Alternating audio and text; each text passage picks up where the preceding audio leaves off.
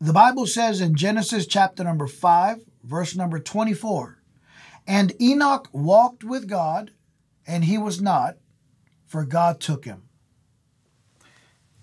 Enoch walked with God. What exactly does that mean?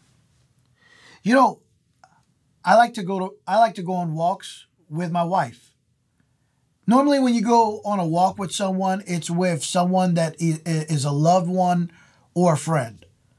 I just went on a walk just yesterday with my wife and my children down River Street in downtown Savannah, Georgia.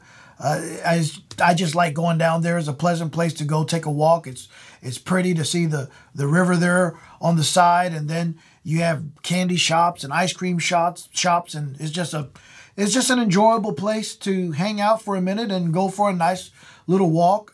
Here in downtown Beaufort, South Carolina, we have the waterfront park, and it's really pretty out there. Very very nice park, and you can walk by the water and I just enjoy going for a walk with, with my wife or with a loved one, with my children, with a friend.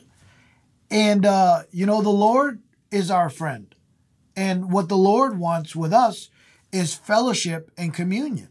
And so when the Bible says that Enoch walked with God, I believe what the Bible is telling us is that Enoch had a very close and loving relationship uh, with the Lord. He had constant fellowship with God. God wants to go for a walk with you. Are you walking with God? God bless you.